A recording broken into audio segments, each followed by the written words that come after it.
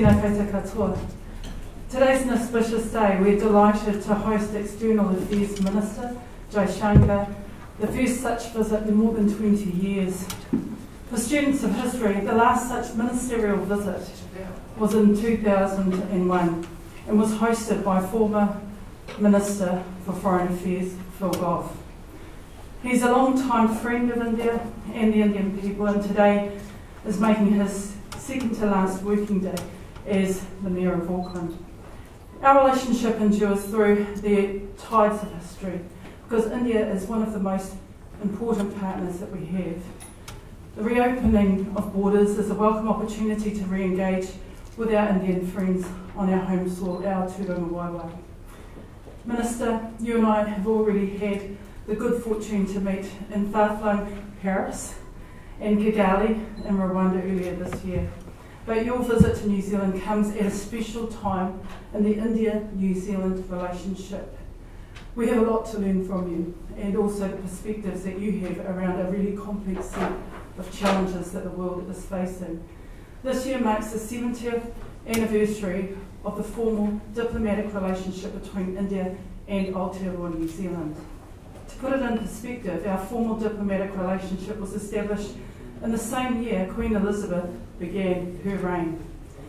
We may, we may both have our own complicated historical relationships with the UK, but we recognise the immense legacy she has created for us through our shared membership of the Commonwealth.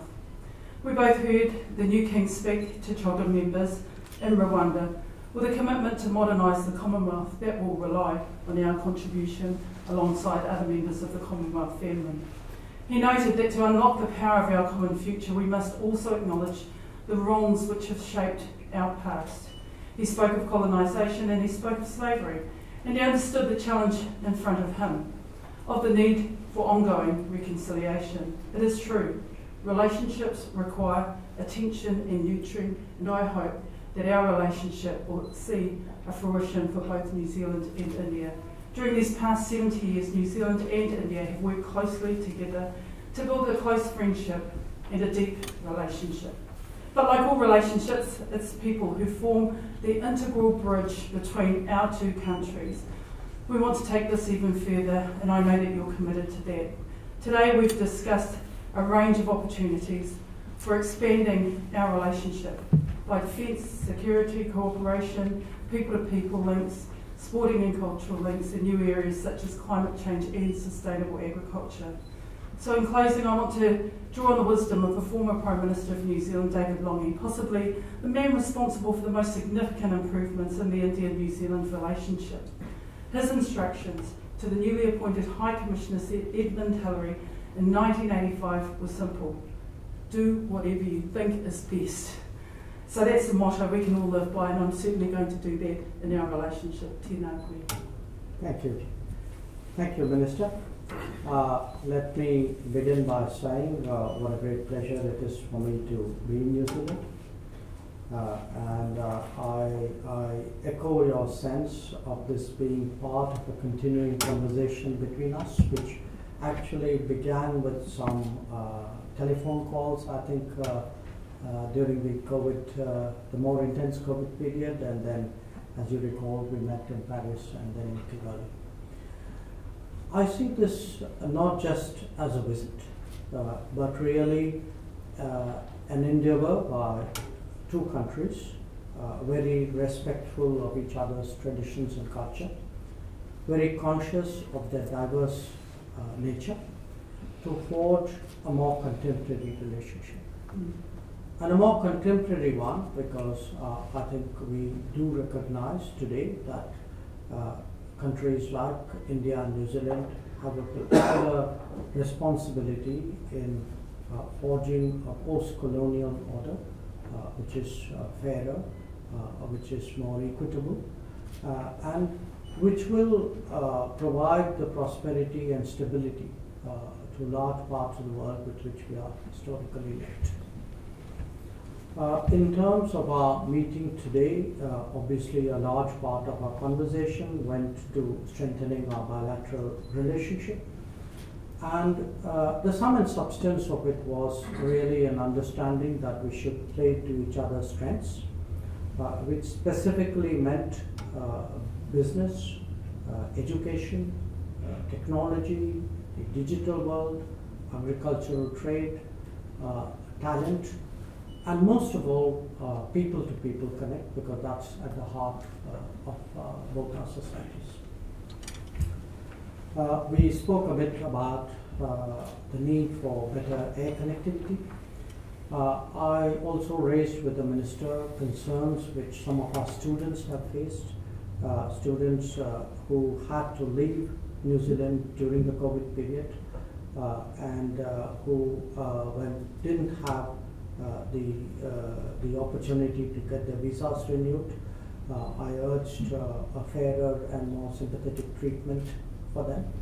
Uh, also, uh, students who are waiting to come to New Zealand to pursue their studies uh, and uh, whether uh, the, the visa process for them could be hastened. Uh, we also touched upon the skills demand in each society. There are Uh, perhaps uh, demands in New Zealand uh, which would could be met out of India. Uh, and uh, we have a mobility understanding with many countries. So uh, the possibility whether you know those could serve as guidance for progress between us. there was also a very open discussion on how India and New Zealand together we shape the larger region, the Indo-Pacific region. Uh, uh, there was a discussion on on uh, some current some pressing issues like the situation, the, the, security situation in the Indo-Pacific, the consequences of the Ukraine conflict. Uh, and naturally, uh, we, we uh, spent some time on the major global issues, most of all climate action, climate justice. Some, some of the initiatives which India has been sponsoring over the last few years, the International uh, Solar Alliance, the Coalition for the Disaster Resilient Infrastructure, uh, the, uh, the uh, uh, initiative for the resilient uh, island states, and, and the importance of collaborating not just bilaterally but with other countries to deal with contingencies like pandemics, which we know uh, will surely recur at some point of time. Uh, and of course, uh, other, other common concerns, maritime security, for example. So uh, all in all, uh, I, I would say it's been a minister, uh, a very Uh, good uh, uh, day of discussions and exchange of views. and I'm, I'm really very pleased today to uh, find some way of uh, contributing to the strengthening of our ties. Uh, we would be very honored if we have the privilege of receiving you, Minister, in India. I hope not in the very distant future. Uh, and uh, uh, I, I, think this this evening I have the opportunity to to spend time with the Indian community, which has done so much to be a living bridge between us. I hope I will have the opportunity of meeting the Prime Minister uh, on that occasion as well, and spending a little time uh, in New Zealand, uh, including uh, in inaugurating our new embassy premises uh, in Wellington. So once again, very good to be here, and thank you for the warmth of your reception and the uh, productivity of our talks. Thank you.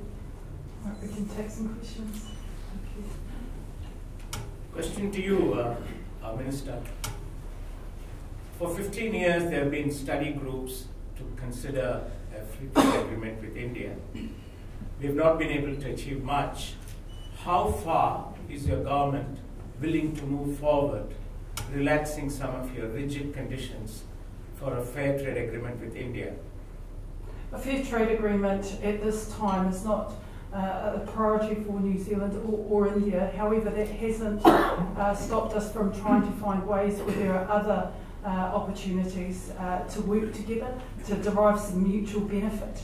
Uh, in terms of economic relationships. And that's been the nature of our uh, conversation today, is can we seek out further opportunities to gain uh, mutual benefit uh, in our economic relationships. The Minister this morning uh, spent time talking to a business uh, uh, community, uh, our business community. I think we have identified that there are niche areas where, where we can absolutely derive uh, mutual benefit in the digital space, uh, in uh, spaces where we can maybe share innovation that will contribute uh, to some of our uh, uh, joint ambitions. So that's been really the very, very focus of our uh, Is discussion. FTA off the table, Minister? It's not our priority right at this moment.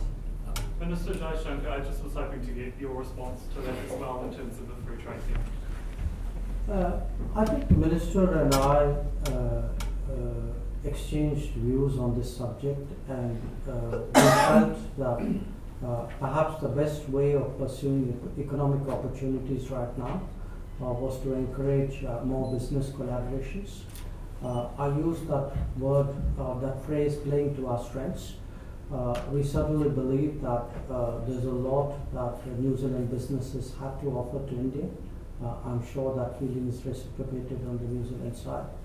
So at the moment, uh, the focus, the priority would be on enhancing business collaboration. Mr. Shankar, if you can please elaborate on what confidence were you give, given when you spoke about people who have lost livelihoods during COVID times who had returned and who could not come back right now? And Minister Mahuta, can you also please elaborate in your press release you've mentioned about uh, changing of immigration settings? Can you please elaborate on those?